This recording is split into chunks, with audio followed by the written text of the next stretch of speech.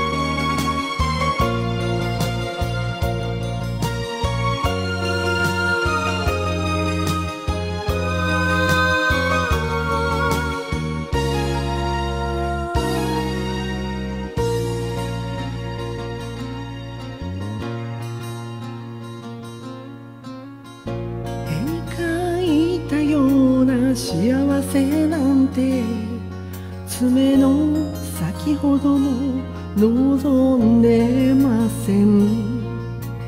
絡めた小指互いに噛めばあなたと痛み分け合えますか。燃えて燃え尽き冬のツバメよ抜き殻になるならそれもいいゆるり」「ゆるりル忘れてしまえと泣いてます